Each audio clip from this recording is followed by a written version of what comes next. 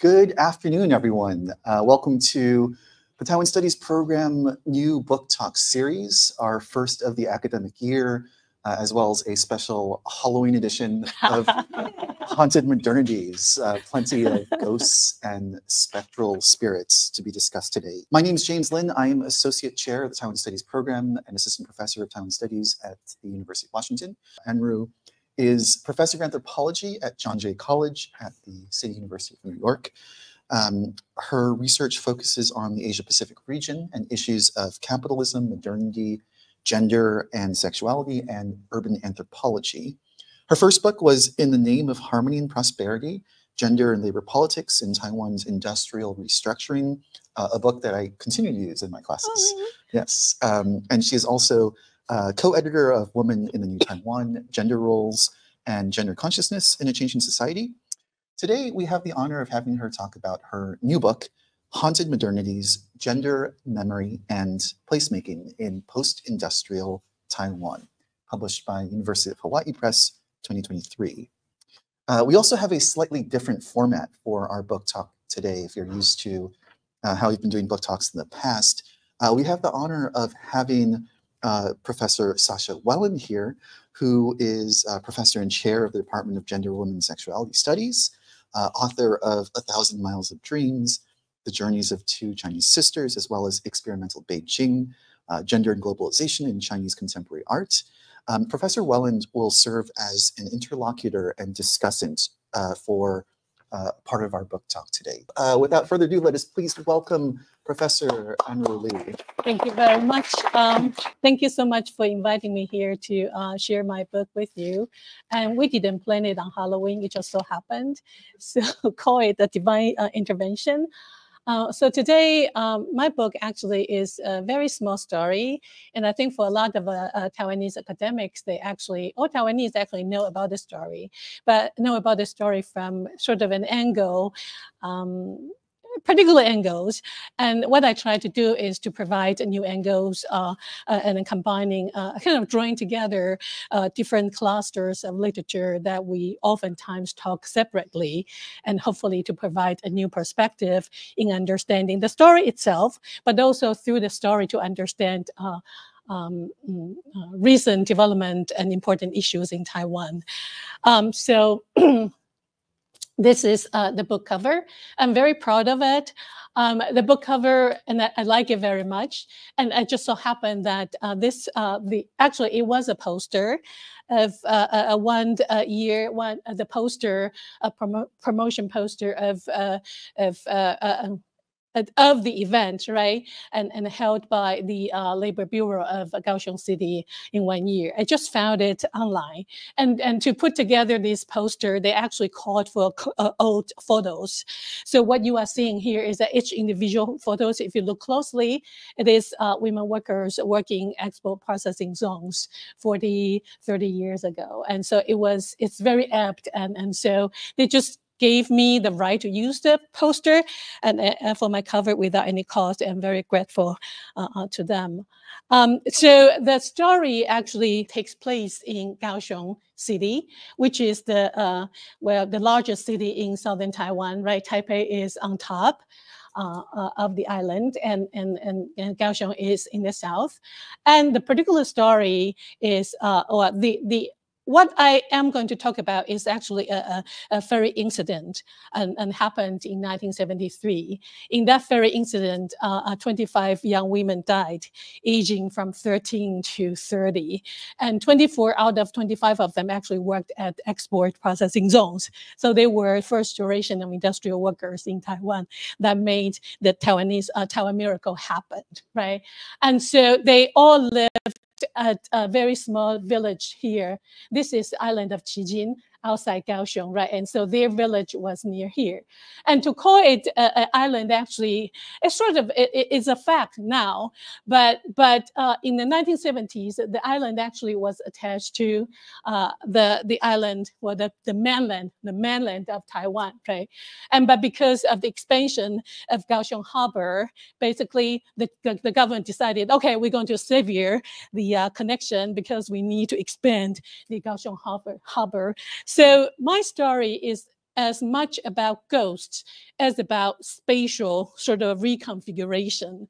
And so these ghosts or these women actually moved around and were moved around, and their gra- graves, their ghosts, right? The ghosts actually also were moved around, are moved around by living people, and primarily for the uh, reason of capital accumulation, money. So, so I think, and that that is. Uh, probably the angle I would like to offer to read from this ghost story to a much larger issue that affects Taiwan and as well as uh, uh globally, right? And uh, if, uh, in a nutshell, if I want to introduce my book, say this is my book, then I probably will start from here.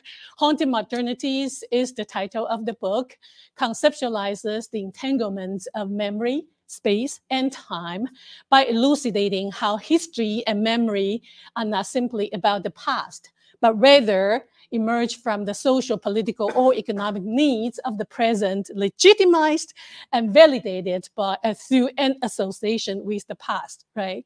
So you can read the book as it starts with something that is history or that was history, and then it turned into memory at some point, right? And then it turned into heritage at the current time. But we know that heritage doesn't stop as being heritage. Heritage usually, in particularly in this time, post-industrial uh, uh, world, and, and heritage actually is to make money. So culture becomes commodity. The very story of these 25 uh, uh, uh, ladies actually become, uh, well, at some point it then has turned into a, a, a, cultural commodity that can be sold. It, it is for sale. And I will tell you all about this. So I thought that I would start um, uh, with my presentation uh, to read you the first uh, few uh, uh, two pages of the book and kind of set the tone, right? And this is uh, chapter one, the death of women workers. Um, September 3rd, 1973 began as an ordinary day. The waters of the Kaohsiung harbor were calm and quiet. In, an, in the early morning, as usual, the sampan ferry, right, this ferry uh, uh, uh, at the pier of Zhongzhou village, which is the small tiny island, uh, uh, the village that I showed you at the tip of uh, Qijin, the small island, was crowded, overcrowded with passengers on their way to start their workday on the other side of the harbor. Street hawkers, vendors, office employees, industrial workers, with their baskets of fish, piles of merchandise, and bicycles or motorcycles, cram the narrow spaces both inside and outside the cabin. It is a very small ferry. Uh, even though the ferry was already jam-packed, anxious young women heading toward the Kaohsiung EPZ export processing zone continued to push their way onto the boat. They could not afford to be late. If they were were, they would lose the on-time bonus that constituted a large part of their monthly wages. When the engine finally started, the ferry, which officially had the capacity, maximum capacity of 13 passengers, was loaded with more than 70 people, which is not was not unusual. So please don't be surprised at this point. Um, it worked, usually worked. Everything appeared to be normal at first. However, the ferry captain soon discovered that the boat had sprung a leak and was taking on water. He tried to speed up, but the overloaded boat moved cumbersomely and swayed violently. When the ferry was about to reach the pier on the other side, the Kaohsiung side, the captain, the only person working on the boat that day, as it was later discovered, hastily, uh, uh, well, um, hastily tied the boat to a bollard and gestured the passengers to evacuate. This caused an instant surge of confusion and frenzy, as you can imagine, while those standing on the deck were luckily enough to get off the boat right away. Those at the back, or worse, inside the cabin, uh, uh, had to thrust their way through many obstacles, right? Including other people's goods, personal vehicles, before they could finally escape the leaking boat. As everyone thronged in the same direction, the boat tilted, dragging down the bollard with it. As a result, the ferry lost its leverage and quickly capsized. Even though the shore was quite close and Zhongzhou had been a fishing village, not everyone, and especially not all women, knew how to swim. Suddenly, the water was full of people, a sea of panic. Bystanders near the pier of Kaohsiung immediately jumped in uh, uh, uh, to rescue the passengers. Onlookers on the other side, the shore of Zhongzhou, Qijin side, also noticed the calamity. Some quickly joined the rescue effort, while others ran to inform families who might have a member on board the capsized ferry. Amid the chaotic commotion of, poli- uh, of police cars, ambulances, first responders, and volunteers were the loud cries and desperate pleas of uh, uh, distressed uh, families. It was all over very quickly. The capsized boat sank into deep water in just a few short minutes. Although the rescue crew was able to fish out most of the floating passengers, they were not able to reach those confined in the cabin uh, and, and to rescue them. When the water was calm and quiet again, 46 passengers, young, old, male, female, uh, uh, uh unmarried, uh, uh, single, and married, had been saved, while 25 or unmarried young women between the ages of 13 and 30 had perished. As you can imagine, um, for Taiwanese, this is not simply, of course, we all know that it is a mechanical problem. It is that the, the boat has problems, right? But with uh, 70 passengers, only 25 died, and these 25 were all unmarried young women. This has to be something more than just secular, kind of a regular problems, right? There's something supernatural that is working here. And so that basically sort of is the beginning of the story. Um, now. So, so Taiwanese um, patrilineal culture shuns unweighed female ghosts who do not have a husband's ancestral home in which to rest in peace. And so this rendered the dead women homeless and potentially vengeful ghosts. And so after the incident happened, and then after a long process of negotiation, compromise, and um, and then compensation, right? Because these were lives lost. And finally, the families, there are there were 22 families and and, and with these 25 daughters, and two families lost two daughters, one family lost three daughters and, and the others lost one each, right? So 22 families decided to bury their daughters together. And so what you are seeing here is the 25 maiden ladies tomb in Qijin. But uh, this was after actually is not oh this is oh, this actually was shot in in early 2000 and this was the first burial of uh, the maiden lady's tomb. At first, they were buried at the small corner, very uh, remote corner of their village where not much, uh, many people uh, went to right? But again, as I told you, this is not just uh, about the story of ghosts. This is also a story about uh, a spatial reconfiguration for the sake of money. So the harbor was to be expanded one more time. So the government decided, okay, all the, this village had to move, right? Uh, uh, living people, dead people, everybody had to move because we need to make way for the harbor. And so the tomb, the tomb actually moved to the current uh, uh, uh, uh place in 1890, 1989. Um, and at the same time, the government also erected this archway, right? Have, stayed 25 maiden ladies' tomb in it. And these are the 25 uh, uh, uh, uh, terms. And let me show you a close shot, right? So it, it is arranged because it is Taiwanese and of Chinese cultural heritage. So it is arranged according to the A characters, right? And everything matters. And, and so a lot of negotiation actually had to happen before they finally decide how to uh, bury each one of these uh, uh, girls or young women. So at the end, the oldest, who is uh, was 30 years old when she died, was sitting is sitting in the middle of the last row, and then followed by the second young uh, oldest and third oldest, sort of like this way, right? And so the youngest would uh, would be uh, sitting by the side. Now, I've seen the picture for many, many times, and only today, it, it must be divine. Only today I discovered that that um, how many of you have been in Kaohsiung and sort of know know the okay. Did you recognize any building, important building? I just realized it today. I can't believe it. This is 85 Tower, the, the tallest building in Kaohsiung. So it is a very important landmark. And and, and and it is actually so if you are living here or you tourists visiting the city staying in one of the kind of a hotel room there then then you are going to oversee not, not that you will see here right?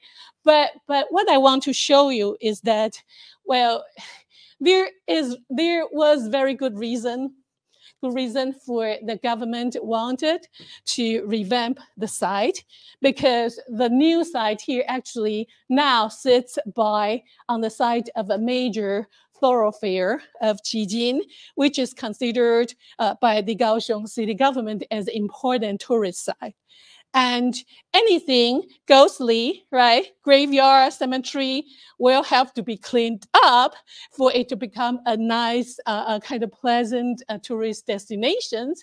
So my very gut feeling is that with or without the story that I'm telling you, the government would will will have would have done something at some point to to clean up this site. But but the very story behind it made it even kind of attractive, right? And and and and then let me continue my story. So anyway, so so this is what it looks like, right? And and um Urban legend actually had it that no young man should ride a motorcycle passing the tomb at night without a backseat passenger, or else he might have an unexpected encounter with one of the ghosts looking for a husband. So this is the, was not the site that Taiwanese would like to go.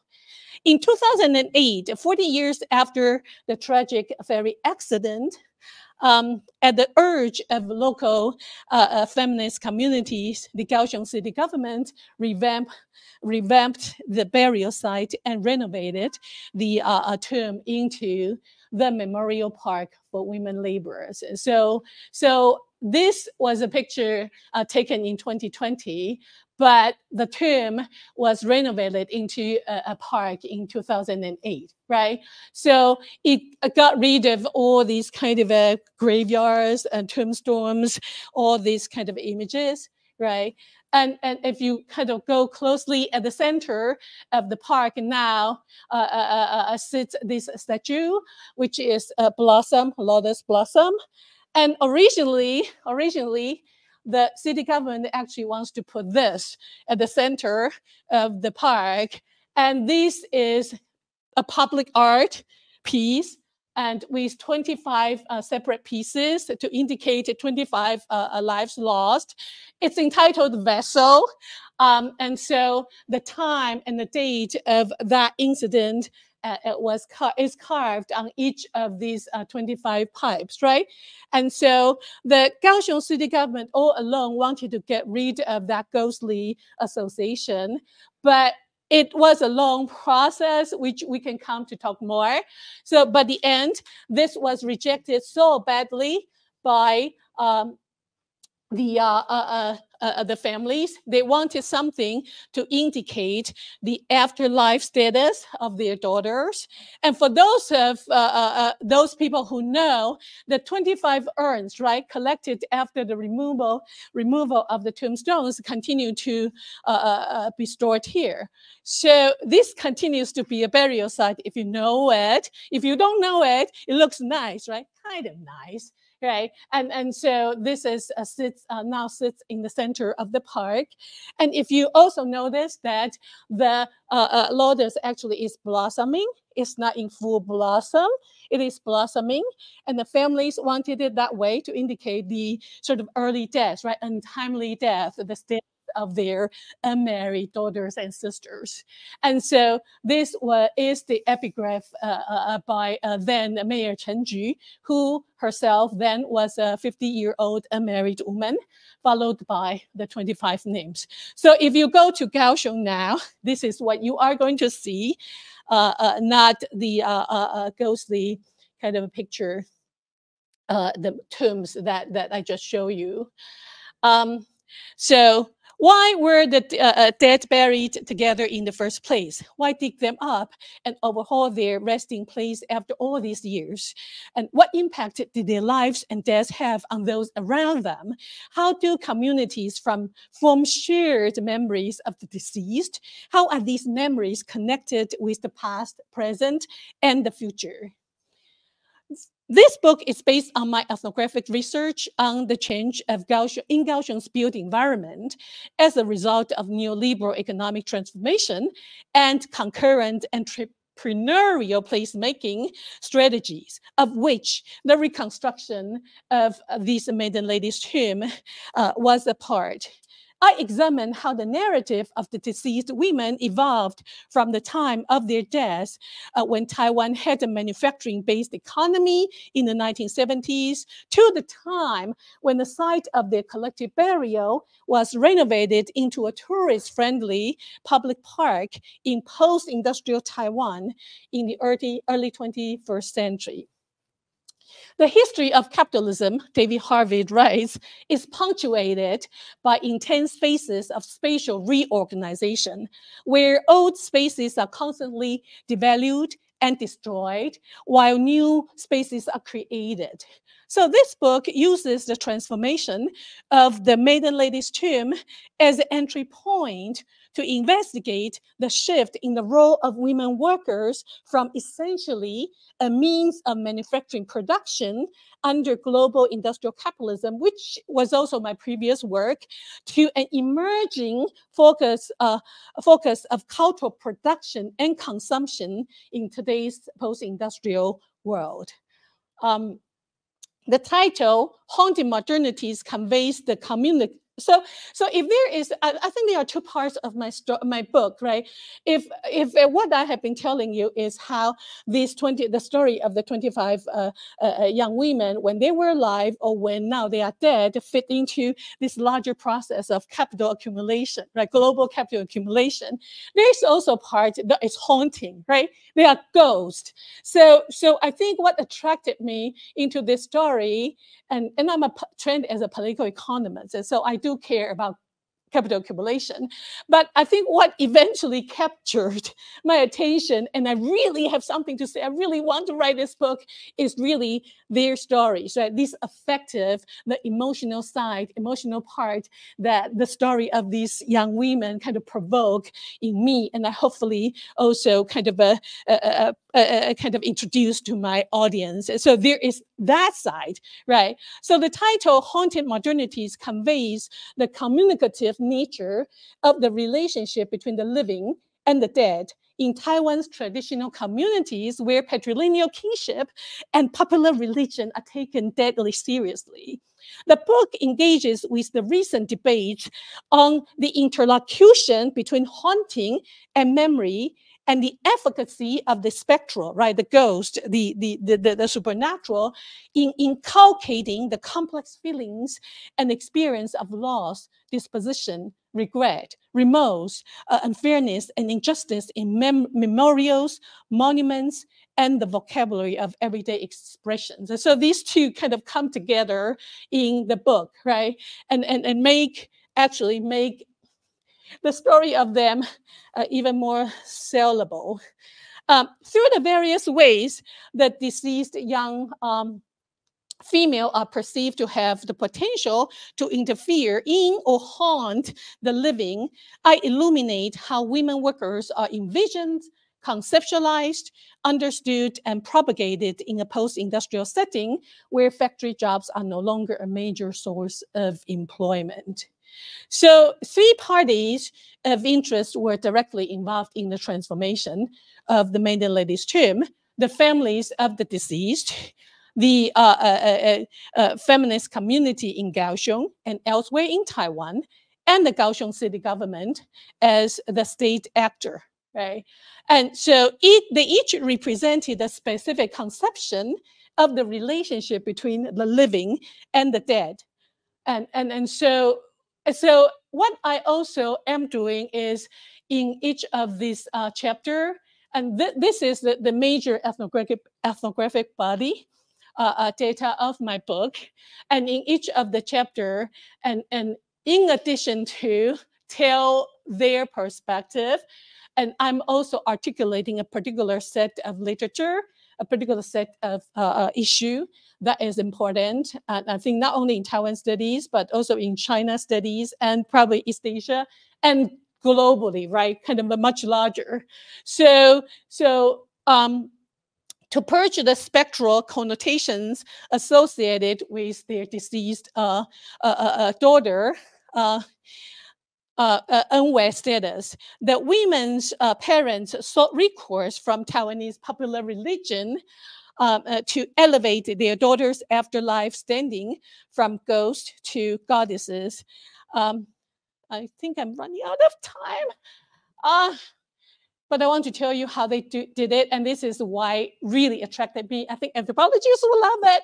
This is a ghost story. So of course they love, the point is that these parents love their daughters, right? They really love their daughters. The reason that they can, they couldn't let their daughters come home is because that is the right thing to do, right? They don't want to engender the uh, welfare of the current family members by annoying, irritating ancestors, right? Or the future offspring who probably are not, are not even born yet but but sort of they cannot afford to do the wrong thing by having somebody who doesn't belong to the ancestral tablet to be home and so the ancestors may kind of make noise right? And then and, and, and then somebody has to pay the price right? And so so but they really love their daughters and these are filial daughters. They work so hard for the families right? So one mother then went to consult with a spirit medium in the village, as you can see, right? So I'm crying. What happened? I really am worried for my daughter. And the spirit medium, of course, is a very good psychologist. And then he says, "Oh, don't worry. Your daughter now is uh, serving on the side of Guanyin." the goddess of mercy, she is uh, uh, learning to become a deity, right?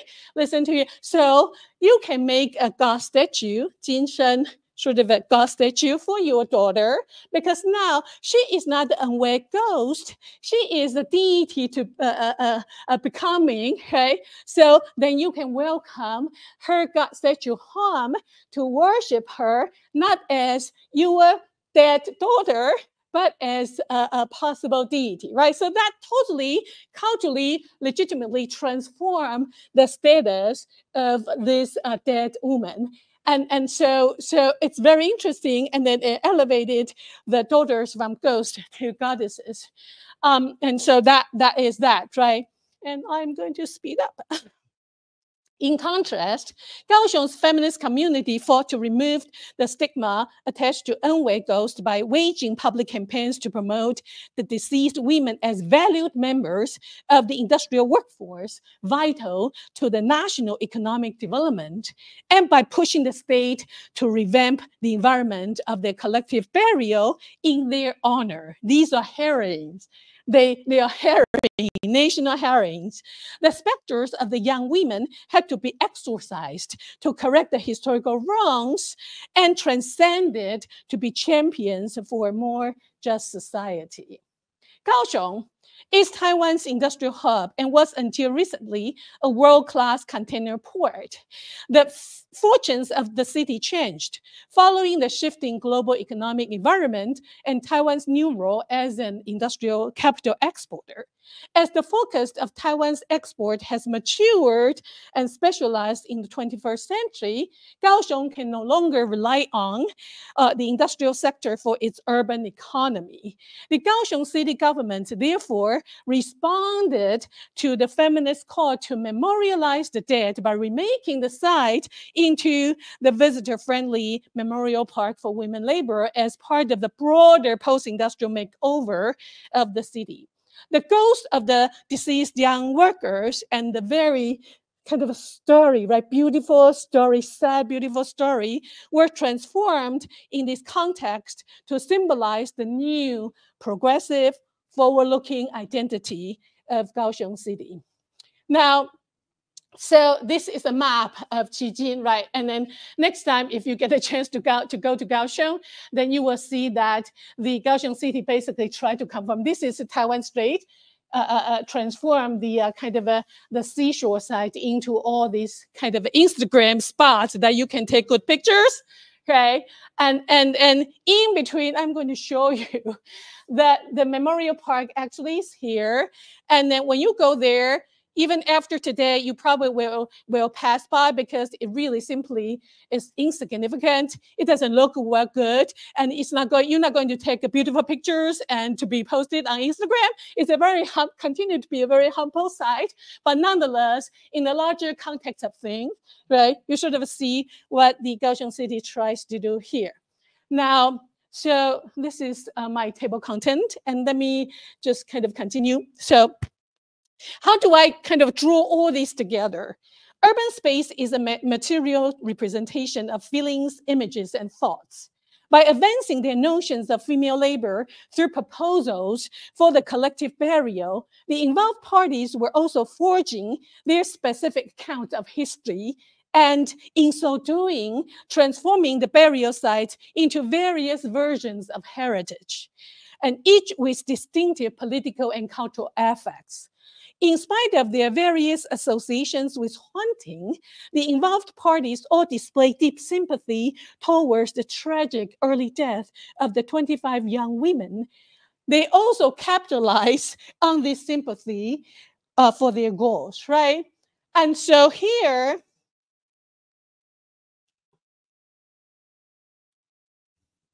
To explain why the story behind the Maiden Lady's Tomb evokes such strong emotions, I invoke the concept of industrial structural feeling. So that is the affect part, right?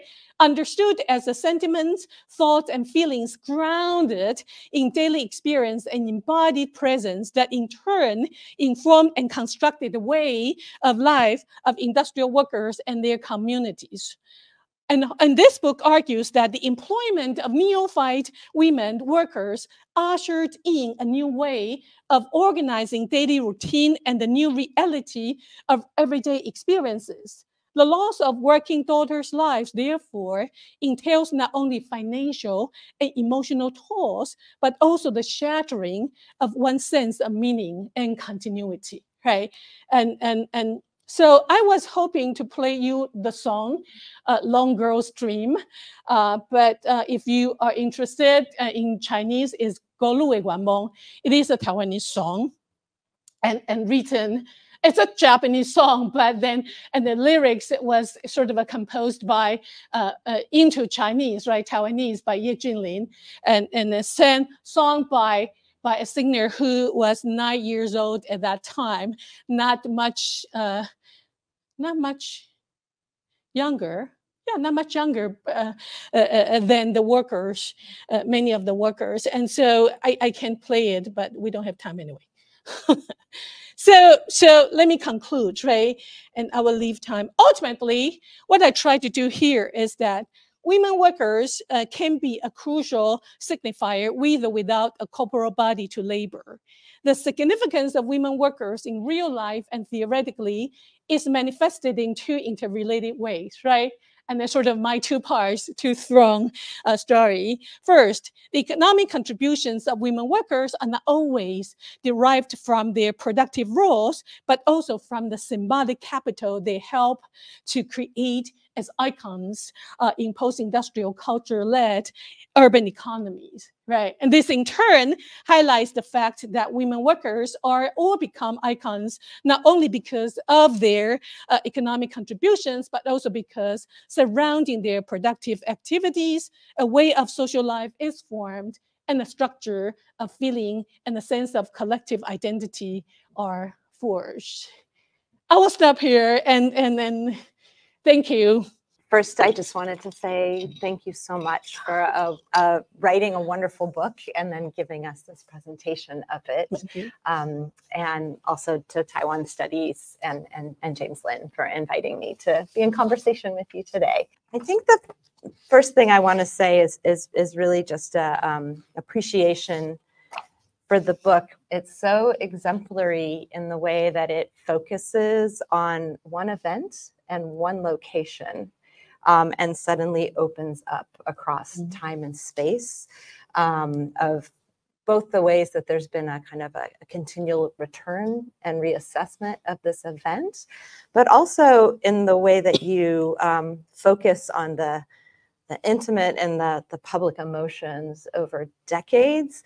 Um, you really also give us this history of, of Taiwan, um, like this longue durée of, of Taiwanese history mm-hmm. focused in Kaohsiung um, that is, you know, you're thinking at this moment of the localization, which was the mm-hmm. word that people were trying to think about in about globalization, and you're helping us understand how those processes happened um, in Taiwan and in Kaohsiung, but not just in the Taiwan miracle, because in your book you take us all the way back to the Qing Dynasty, to the Opium Wars, like through you know Japan and Taiwan, and then these different political moments. And I think at every the way in which you take this this what could be seen as a, a singular and you know perhaps not completely you know exceptional event and just open it up mm. um, it is really amazing, especially in the way that you help us see the conjuncture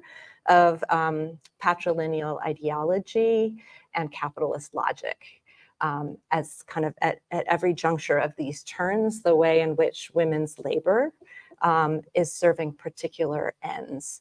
Um, and often it's right subjugated to a, a national effort or um, to their vital energy is mm. flowing out, you know, also to the family, to, you know, their brothers, to their parents, to building the family that sometimes, you know, they're the ones who are are, are this vital energy that's that's being pulled away from them towards these other projects. So I think the way you show the conjunction of that working is, is really um, quite amazing because it helps us see not just in Taiwan but in other parts of the world and the mm-hmm. ways in which then women's labor here it's the specifics of patrilineality, patrilocality, patriarchy in a particular kind of social context, but how women's labor um, at these different social cultural conjunctions with capitalist logic makes it flexibilized, makes it mm. temporary, um, often makes it young like young right. women working.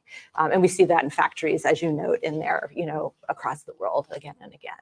Um, as an ethnographer, I just also want to give a lot of appreciation. I think one of the things I try to teach my students about ethnography is that this very heterogeneous kind of um, mode of doing research and writing, and yours is also that that crosses scales. So the same way that you're crossing scales and trying to get us to understand the the sadness and the haunting of families, and then also across time how feminist activists take it up, and also how a city government takes it up, um, and how different families are actually negotiating their loss and mm. the the the the, un, the unrest the restlessness of the ghosts that can't be properly right settled until they find a way that also the families themselves are coming up with yeah. some different solutions mm-hmm. sometimes um, that um,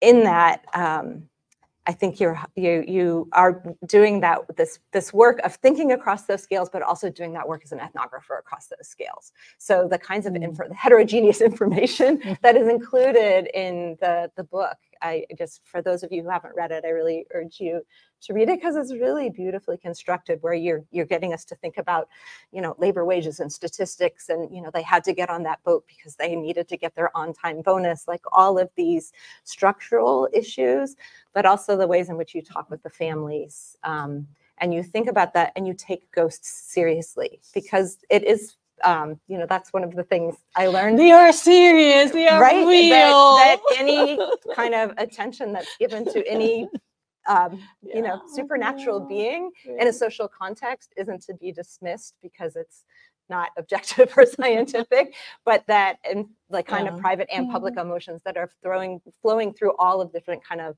social collectivity of the ways that people are haunted by them, like their families who've borne this unbearable loss that they're trying to you know make peace Mhm. with in some way but also the gossip like on local college campuses don't go by there at night all of the ways that the stories stay and actual stories of people you know who feel that their their younger sister who died their ghost you know is Mhm. trapped in places and they see them and they hear them and they speak with them so I, the way that you take that seriously i think is is really important because it it, it Mhm. shows how it's uh, a site that can continually be revivified and different sorts of Mm. things can be layered through it. Um, so just appreciation for all of those things. I thought that I might, um, I have, I think, three main questions that we can maybe think through some themes. And I, I wanted to start um, maybe on a larger scale of just thinking about memorial sites and, and Mm. sites of, uh, because lots of parts of the world have been thinking about right these statues that have been Mm. erected and when do we keep them up and when do we take them down or when do we you know remake them or move them to another place um, and it feels like it's like uh, a continual negotiation of different kinds of Mm. cosmologies of, of what's appropriate Right. what's right at this Right, moment um, and also I, it, it- when it's memorialization of untimely death it's also a cosmological negotiation between the living and, and the Mhm. dead yeah and so i thought i would just um, i just wanted to share a very small story about a site that's close to here as maybe a way of opening up a conversation with you about how do we think with these sites and and Mm. keep them Mm. al- alive rather than like closed and Mhm. settled and therefore sealed Mhm. from any way in which the the, the voices of the the ghosts can still get Mm. us to think in new kinds of ways. Mm. So um, there is a statue. There was a statue. There's a, a peace park very close to campus. Is it that direction? Yes, that direction. It's it's quite small, um, and it it had um, a it had a statue there of um, a young I should preface this first. Since I'm the chair right now of Gender, Women, and Sexuality Studies, I was asked several, a couple of years ago by some reporters, uh, because it was Women's History Month, um, about to respond to this. Like they had discovered the scandalous thing that there are very few public statues or monuments to women in all of Seattle. Mhm. And one of the very few was this statue of a young Japanese girl whose name was Sadako Sasaki, who had um, been exposed during the, um, the bombing of Hiroshima at the end of World War II um, and died of leukemia at the age of 12. And so Mhm. there's a Quaker group here um, who had erected a statue of her, a peace statue, um, also partly thinking about the, the history of Japanese American internment during World War II mhm. here.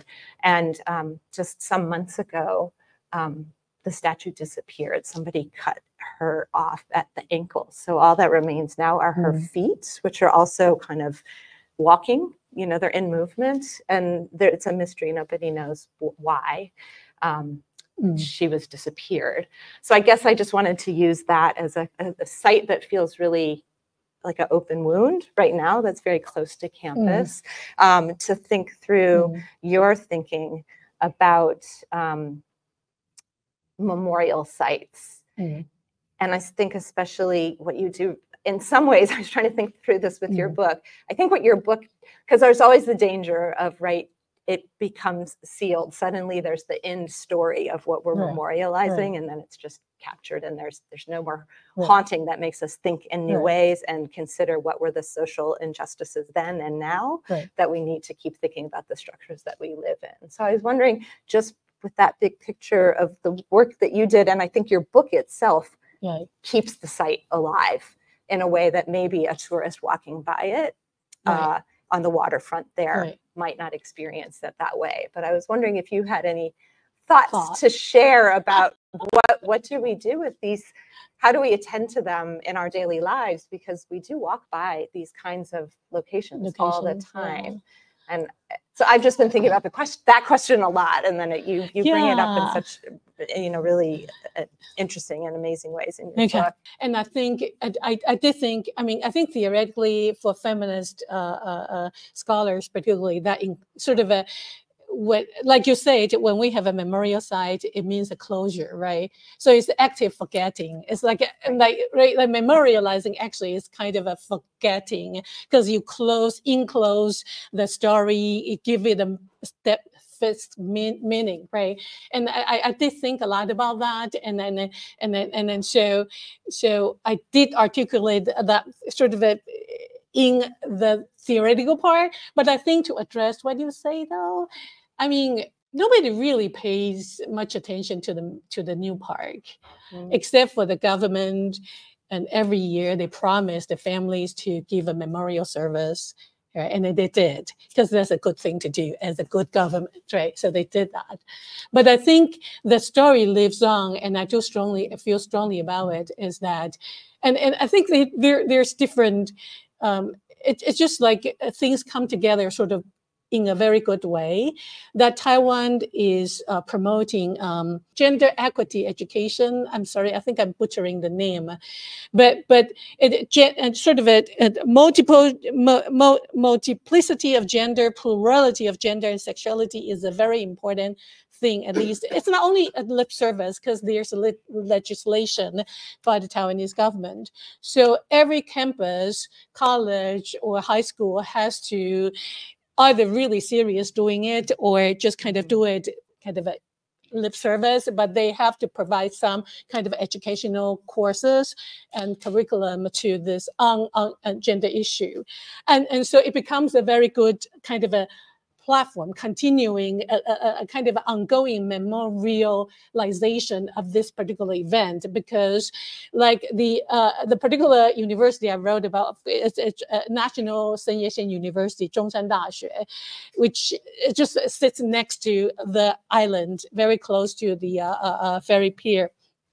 And and and then the uh, professors then uh, uh, then co- incorporate this particular incident and the whole process, right, renovation process into their curriculum. So year after year after year, they are actually teaching it. So, so in a way, it's sort of like you are memorializing in an ongoing uh, process, and and- but it also changes depending on who's teaching it, who are listening to the story, and and then the- how students think about it, right? So I think that that that and and then that chapter I call it be, beyond memorial. I think I was trying to capture exactly that that possibility that well the memorial is one thing but whether we can use that memorial as uh, for pedagogical purpose can probably be a more important uh, a possibility for us or for the future generations to continue to think about that Mhm. yeah so No, I well, it makes us all as educators feel like that is That's probably what we do. Is, Yeah, yeah, think- is thinking yeah. about how to bring our Yeah, yeah. students into rethinking those sites Think, and right. how are they, how do they help us understand the past, but also keep the question from them alive right into the future. future yeah yeah yeah, yeah. I was also really uh, fascinated by what you call um, haunting as methodology or spectropolitics. Um, and and and I guess it's in the taking of um, the voices of the dead and of ghosts quite Yeah. seriously. There's all of the different ways that you talk about the kind of social collectivity of how people yeah. Mm. are called to feel something or do something by Mhm. these voices of the dead. And i it, it's that song that you had up there. That was a really moving piece. Oh you play the oh i haven't heard it but the way you uh, you know Oh, the, the- lyrics the are in there that you talk about you know older professional men. Who when they hear that song they just burst into tears, Tears. because for them it's a reminder of the outflow of vital energy and labor of their sisters who maybe did not pursue education as they did but worked in certain capacities that assisted them to to move on in their career so I, there was that that one part of like how this voice speaks even across the generations of what what the kinds of you know Mm. the love that they had but also the recognition of the kinds of sacrifices Mm. and maybe inequalities even in Mhm. the ways that Yeah. uh, kinship gendered Yeah. responsibilities in a family so this question i don't know i was just thinking about the classic gayatri spivak question of can the subaltern speak and i have never thought of the subaltern as the dead or as a ghost and so i was just trying to think with that idea of you know if the voice keeps speaking of the of the ghosts of the of Yeah. the the young women who died in Yeah. 1973 i think you do it in the book but i don't know if there is a way to kind of say like w- what are they saying through whom over different Yeah. you know time periods? And is it a consistent message? Because they don't always it's not it doesn't feel settled yeah, right? Like there's the spirit mediums who it- provide a way to say like this is how you can make them into a god and then every the, the history is sealed but i don't know if there's There- another way Your think of it. question makes me think it's sort of like, oh, is it suddenly a lot of things? But but it's interesting because um, what one thing immediately sort of strikes me is that it's it's I mean a professor a professor uh, uh, uh, Sasha is talking about uh, particularly chapter three, right? But the title I, I name it is Filial Daughters and Pious Ghosts because they are quiet they Mm, don't talk actually. They are Mhm. very good daughters. They Right. were very good daughters right? Good daughters don't talk back right? Good daughters just do. After they die they are pious ghosts because they also don't come back to really haunt their families. But the potential is always there right? Living people are afraid oh what if they come back to haunt us? But they actually didn't. They kind of did. Did in the sense that oh i enter my mother's dream saying oh i really I, are you? I, I, think in, in, in the book I, I did talk about when the mother talks about how their daughter comes back into the dream. So it's like, oh, my daughter is so filial, right? Mhm. And she comes back to to see whether we are doing well. She just wants to make sure that we are okay, and she would sleep kind of lie on uh, next to me, well, in dream, right?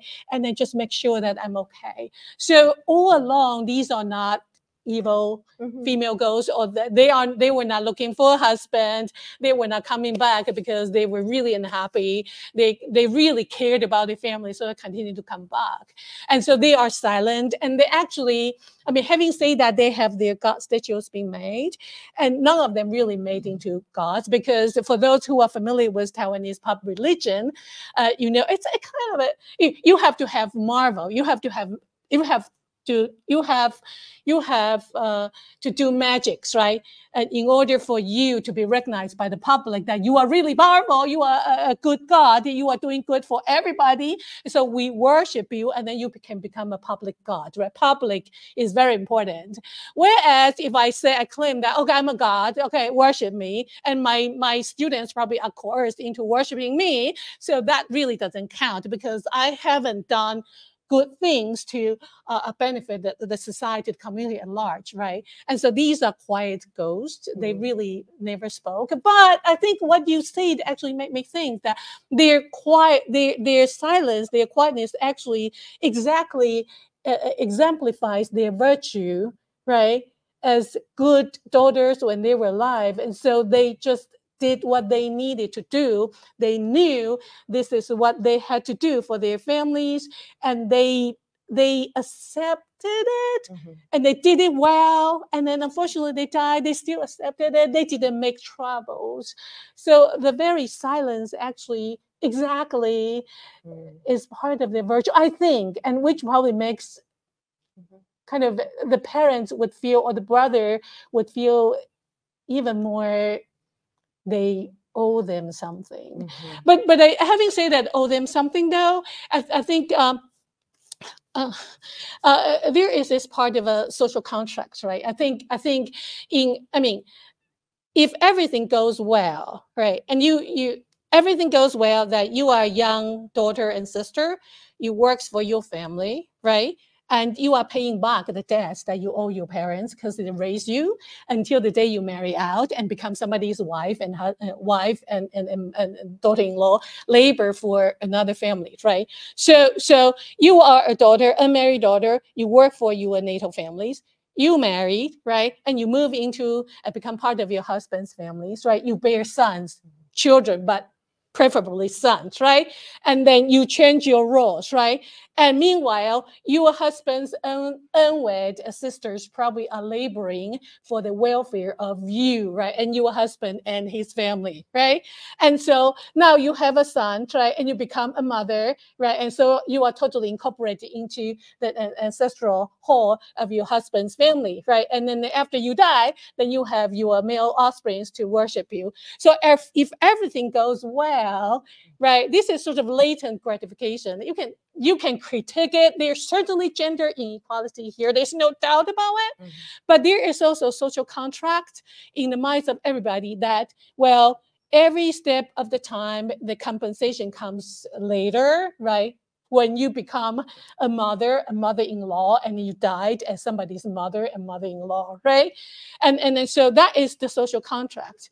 And what we are seeing here is that the contract is broken, right? They didn't get a chance to live through the uh, later stage. It's here their lives get, got cut short, right? And I think a lot of uh, emotions, they, they really love them, but I, I think there is also this like we we the social contract was broken. It has to be patched.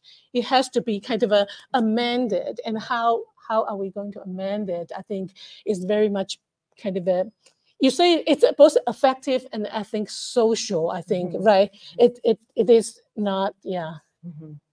So it's interesting, maybe, that these quiet ghosts have actually caused such public um, spaces. The spice. yeah, and and and then layers of how do we interpret the Yeah. goodness and the untimeliness, and sometimes it it Yeah. seems like also the injustice of their deaths because there were all these things wrong. Some of them weren't even old enough to be working in the factory in the No. export zone right. and then their families didn't get compensation because they weren't legally employed. So yeah, it's just it's interest yeah, it's so interesting that they were that you they're quiet ghosts and yet yeah. have a, a long kind of afterlife that's being rethought again and again.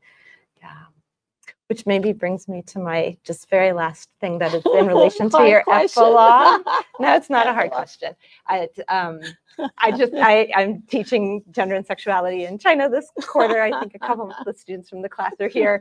And uh, early in the quarter, we read He-Yin Zhen's On the Revenge of Women. She was an anarchist feminist from 1907, and Ooh. she um, was trained in the Confucian tradition, so she knew how to take the Confucian tradition Oh, down step by step. yeah, And so, one of the things in this essay on the revenge of women, she talks about the inscription of an inequality through rites and rituals. And one of the places she says is in funerary rites, um, is the ways in which inequality between men and women is inscribed in, in funeral Yeah. customs and rites. So I, um, and you're in the the the in. I think it's chapter seven, Seven. and maybe epilogue a little bit. I'm trying to remember um, you talk about how this it's it's um, not just a memorial site, but it's also memorial practices and a, a repertoire, and that part of what's moved beyond the park or the burial site is these Yeah. other questions, and some of them were actually about funeral practices and um, yeah. and and gendered, and also questions about how LGBTQ um, right if you have changed your um, right assigned um, sex like Right. how all of these things work Right. in the afterlife and so i just wondered if you might be able to say a few words about how you close out in thinking about the ongoing repertoire of people's work through funerary customs and rites to change them. If you if you were students if, you are interested in doing this project the lgbtq is a very interesting issue like how how they can be incorporated into this kind of a traditional binary system right? And i think actually there are a, a few dissertations on this topic Mm. because because it's really interesting like Mhm. how how you're going to incorporate them. I did write a lot about funerals. I, I hate funerals. I'm so afraid of ghosts. Um, um, but but um, I think oh yeah, the the some initiative actually came from the government. I mean, in some way, Taiwanese government is pretty progressive well, being forced to be progressive Mhm. by progressive feminists. Um, but they they're doing it, so they they try to through through the uh, mortuary, the mortician, mortician, right? Morticians, those uh, those people who help the deceased families to arrange the funeral process. Here is like funeral director, I guess, right? And then in Taiwan is mortician, and they, they there is a license uh, process, right? So by changing the day, the questions, by changing the exam, right, the government actually is steering the direction of what is the right ritual that you have to do in funerals, right? You sort of see see that it's in a way like like like this is the right answer, right? And you just memorize the right answer. So instead of uh, having only sons to carry the most important, like you know the um, the um, the incense, the uh, what the, the pot, incense pot, right? Traditionally, it is. The government said, no, no, no, no. If you say only males can do that, you're not going to get your license. Okay, you have to say both genders can do that. So by doing so, they actually are, I think, very intentionally uh, training the next generation of morticians to be gender, have that gender consciousness, and it's just very interesting. So we are seeing the uh, the, the, the changes gradually, but I think I think it's just like in in China when you have a, a, a very disproportionate uh, uh, ratio of men to women things have to change, right? In Taiwan, Taiwan is one of the societies uh, that have uh, one of the lowest fertility rates. That is below replacement. That is, well, a couple, a couple, well, couple, two people don't don't produce only produce one or less fewer people. So the society is shrinking right? So if if you don't have only one child or you have no children at all your child cannot be guaranteed to be a boy right? So a lot of families actually have girls daughters only and what are you going to do? The the social structure is is is like that and you just simply don't have enough sons to carry all these mm-hmm. kind of a proper traditional rituals and so so I think the, the society is forced to change as well. So I think, I guess from my perspective, they are moving into the right direction. And I think you anarchist is so it's it's like a prophet because she well a hundred years ago she's for she's seeing she's seeing it and I think and for many Taiwanese feminists they do see the afterlife is the last frontier of feminist movement Mm. unless the these re, kind of a patrilineal leaning customs cultural beliefs being changed particularly the afterlife kind of beliefs if it's not changed then their task is not completed Mm, Thank you so much oh for a thank you so book. much The question is uh, Is it a tradition for Taiwanese families to regard their uh, dead daughters as ghosts or not? Traditionally, yes, because, and I do emphasize traditionally, yes, because Taiwan's uh, Taiwanese kinship system is patrilineal kinship system, in the sense that only male descendants are real descendants, and and women have to be married out to join their husbands' families in order to become a permanent members of a family, right? And so I'm married, so I'm fine. My problem is that I don't have a son, so I'm in trouble, right? But if if a woman is not married, then then traditionally, then there is a sort of a it's it's it's almost I mean, and then for those those who know about other cases, please uh, uh, uh, uh, tell us after I kind of explain this. Um, so so so women's we when we when a woman is alive traditionally she has to she is not she is a temporary member of her father's family she will become a, a permanent member of her husband's family right after she dies. So if she is not married then she has no place to go home because because the family she cannot go back to her father's family. She is supposed to join somebody's family who is her husband. So unmarried women are caught but deceased unmarried women are caught in this kind of a conundrum that they they have no place to go back to. And then and i emphasize traditionally because you say "Then i did i don't believe that right? So i don't believe that so it doesn't matter. And i do agree with that. If if uh, sort of a society does evolve does evolve right is evolving so so so it is a belief system and it is also practice. If you don't do it then you don't do it right?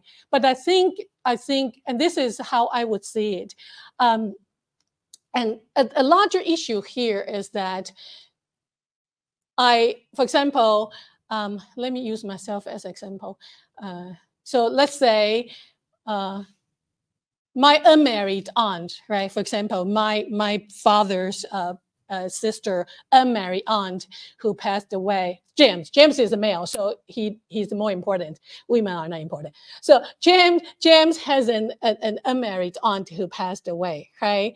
And James' father or James are very progressive and says that we have no problem. Uh, we welcome our aunt to come back home, right? So so you know the ancestor worship is that even after you die, you have to be housed, you have to eat food, you have to occasionally have pocket money to spend, right? And you have uh, to to be able to enjoy lives just like when you are alive. So who's offering you that? Then it's your descendants, male descendants who are supposed to do that, right? That that's the whole point here. But then let's say James is very progressive and she's saying, I have, yes, I have no problem. My aunt can come home. But then the issue is that it's not just about him or his uh, in, in nuclear family, right?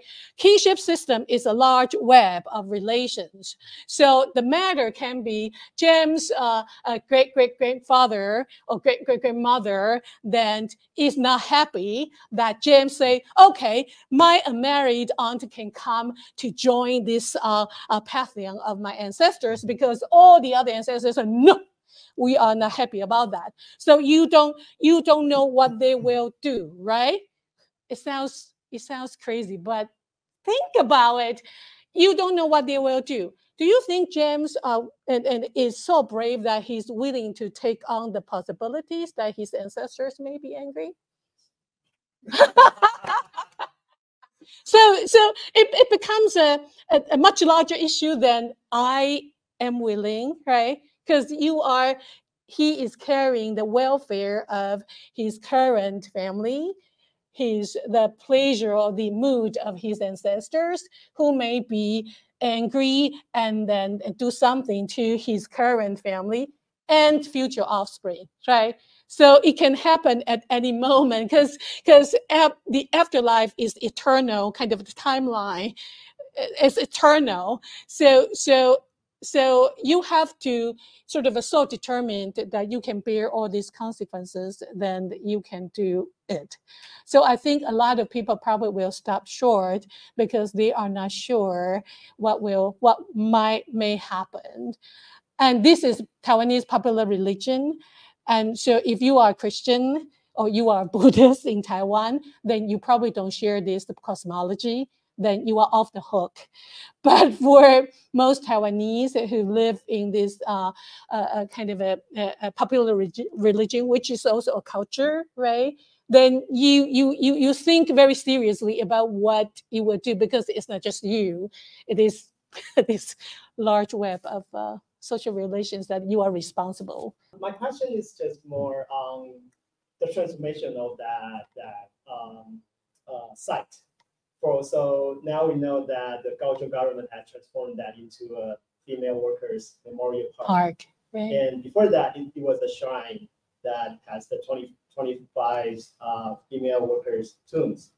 Um, what are the responses of the reactions by by the the families when they when the government are in, or consult them or inform them that we're going to do this into yeah. the park. And what are the public re- reaction to that? Because if I know, if I were the tourist knowing nothing and going to a park, then I realize this was a tomb, then I might be shocked rather than more being memorial to, you know, the the, yeah. the ancestors who really pay uh, the tribute to. I mean, to really really did the yeah. labor work yeah. for, for our uh, in, industrial miracles. Thank so you. I wonder how is the public reaction and the family's reaction to this transformation? Yeah. Thank you. I'll say the public reaction first. So what I'm tell what I told you is be between these walls. Okay, don't go out to tell everybody that the 25 urns is still there because it's not good. But it, you are right. I, I um I'm not sure. I don't think the public knows that um it continues to be the sort of the burial side of, Mhm. of these women, right? Because because it's a park. Um, but then last time when I was uh, presenting my book talk, one of my colleagues I started googling, it's like, like just a memorial park for women laborers, and and you you probably can do it now. And he continued to find a lot of like, oh, ghosts are still there. so. It, it, it's going uh, it's not going strong but i think i think it's so prevalent. I think it's, it's just so important to taiwanese this particular kind of a cultural understanding and belief. And then then then some people still see it as as the way they would see it even if there's yeah. But i think most for the most part young people who just go there for a day of fun they just pass by and say, oh that's the term and that's the park and then because it's not beautiful enough for instagram. And i'm, I'm serious this part i'm really serious. Um, as as to the family it's interesting and then, and I, I have chapter six right? Supernatural beings and modernistic is exactly to talk about the, the negotiation between the families and and the states because before right the first three chapters is like we this is what we think right? It's all discursive. It's, it's a kind of the fight in language and a fight in the public kind of uh, opinions. But when it gets to the, the nitty gritty of how we're going to do it, then it's really between the government and the families. And and I mean, Taiwanese, however, kind of a uh, what's the word modernist a, Taiwanese government, any level of Taiwanese government is, they still are concerned about ghost because again, their voters are concerned about ghost, right? So they will have to concern about ghost, right? And I think the Taiwanese officials are also Taiwanese, so they kind of shared that that kind of who knows what they will do if we don't do something they like, right? And and but it's interesting that Professor Lee say that because for the Taiwan for the families, their first they actually wanted to transform the the the the, the tomb into not a park but some temple. You sort of hear this right? Some temple like uh, 18 lords temple in northern taiwan temple in, in Taiwanese uh, Chinese is Shiba Wang Gong Miao, and that that uh, uh worships uh, 17 uh, uh, sailors, their bones, bodies washed I mean, on shore, and so nobody knew the identity of these 17 sailors, right? Plus their dog. So the 18 lord, uh, 18th lord actually is the dog. The dog is very loyal, the most efficacious one actually, but together it's 18 lords, right? So these are ghosts because they have no families. Nobody knows who they are, right? They are just like bones on the roadside and being collected. And then in order to pacify them, then Taiwanese built a temple.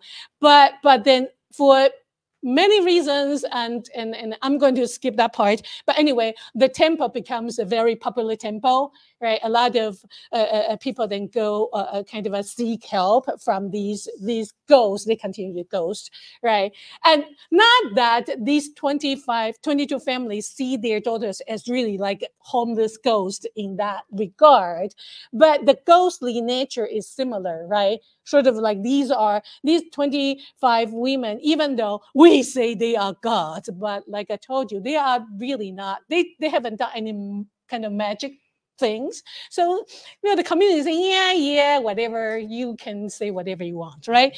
And and and and so so um the families actually wanted to do that and and and and and, and so they think that if you have a temple like that then taiwanese will come to start worshiping right? And that is the way they want. And but from the government's perspective well no way. We will never do that. So so that sort of a kind of a never happened yeah and it's it's a very long process of negotiation and at the end of course the families got very little of what they wanted and the government basically did uh, most of what they wanted as, as usual so yeah One question from online. This is a good question, uh, or an interesting question. Was posthumous marriage ever considered for these women? Oh, yeah. Um, in in Taiwanese uh, pop religion or Chinese, actually, I should say, there is this ghost marriage That is, uh, a parent, a parents will find with. I mean, it, it doesn't matter. It's a son, deceased son, or deceased daughter, right? The uh, I'm, I'm, sort of explaining the, the, the custom first, right? So ghost marriage involves that parents are looking for kind of a, a, a, a person who is willing to marry their deceased son or deceased daughter. And, and oh, and Netflix actually has a Taiwanese uh, drama, TV dramas exactly on this issue. He's a gay, and oh, it's interesting. I don't know. I'll find the so anyway, and usually what the parents would do is kind of a, have uh, something, a kind of a red envelope, and then throw it on the roadside, right? And with uh, the disease, the hair or whatever inside, and then it's like James again, right? James is a kind of a innocent uh, peasant uh, on uh, onlooker, and he's like, "Oh, cool," and pick it up, and then, "Oh, you are the chosen one." And so, if he's willing, and oftentimes the person who who kind of got chosen is willing because the person is doing a good deed, right, for a deceased person.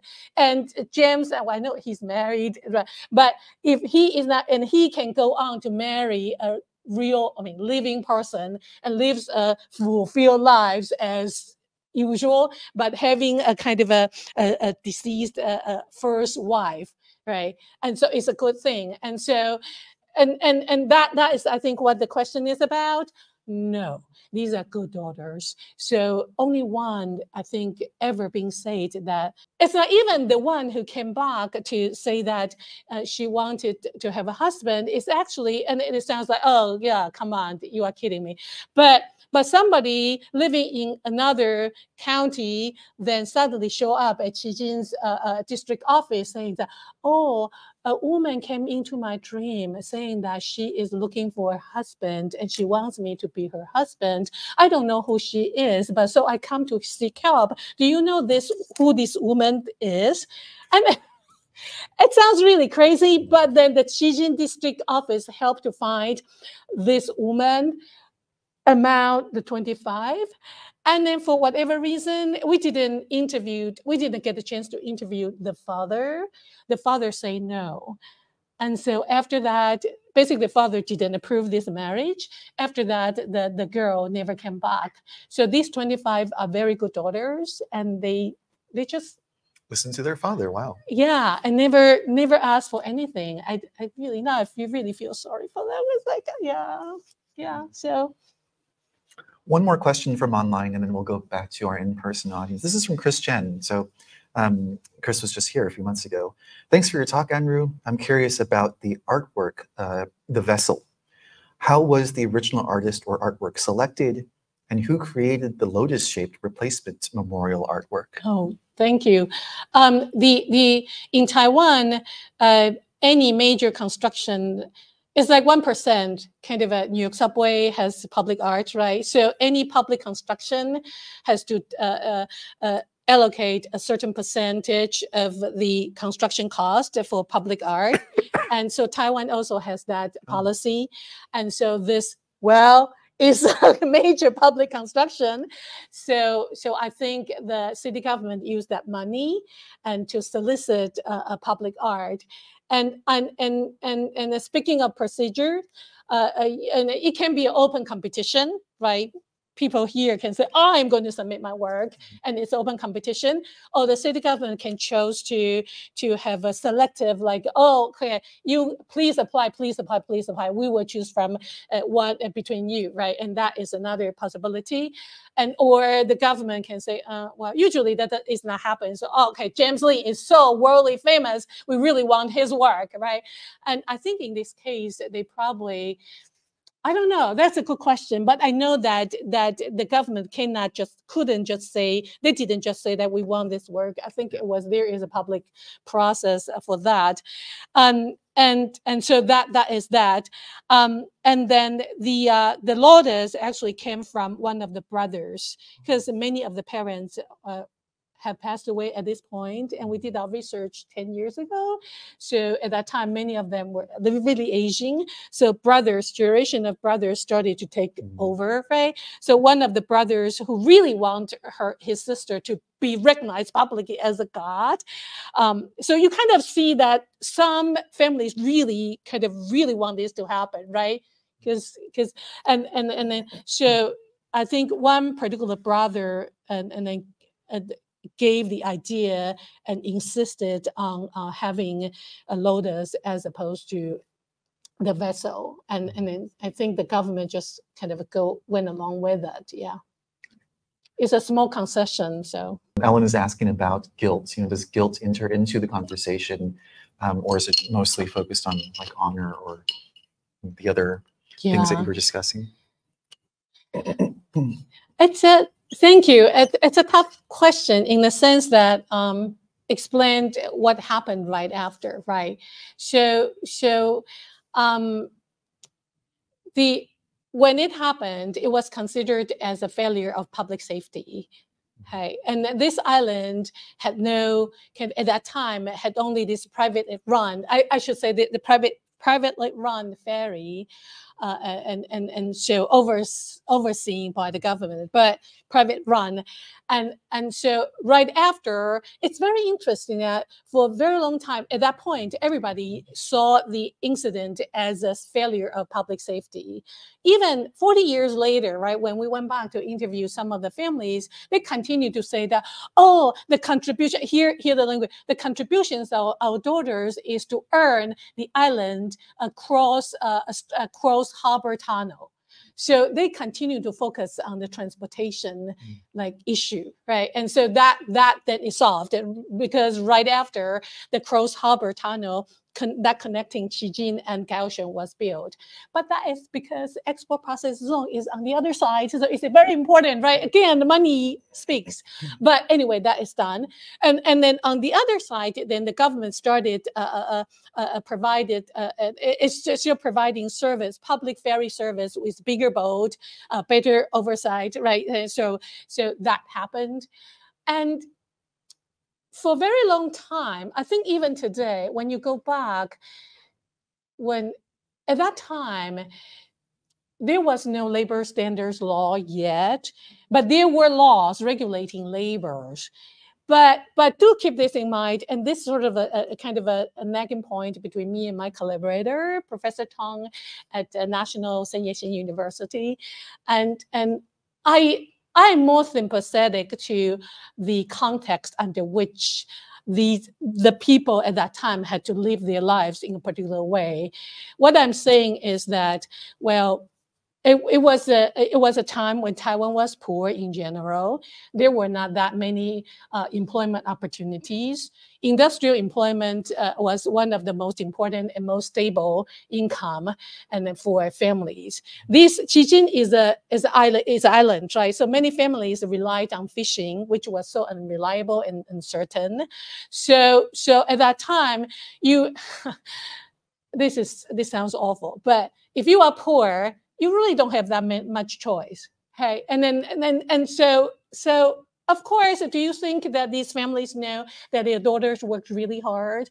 Do you think they don't know that their families and their daughters probably didn't would could be could have been paid a little bit more? But then, given the situation, they endured, right? They sort of endured, and these daughters, these women, they of course they see the the wearing out of their bodies. They know that every day they they they dragging their very worn out body home. They, of course they know that, but but do you, can you is is there other option? I mean, was there o- other option at that point? Probably not, right? So so I think at that moment, this really sounds awful, but people were endured and they they did what they needed to do in order to get by and started to build a better life, which essentially, eventually, essentially, with the sort of economic takeoff and the society becomes more affluent, and then generation after generation, they did kind of become the lives to become easier and better. So, so at that time, there was no people knew that some violations being being done, but we kind of swallow it. Now, when they look back, it's like it is a time that this is how we did things. And it's not fair, but I think it's just sort of like this very paradoxical situation. But at times, oftentimes, we just have to kind of accept it and live it, I think. Let us give one more round of applause for Professor Lee. Thank you so much for Thank you very much.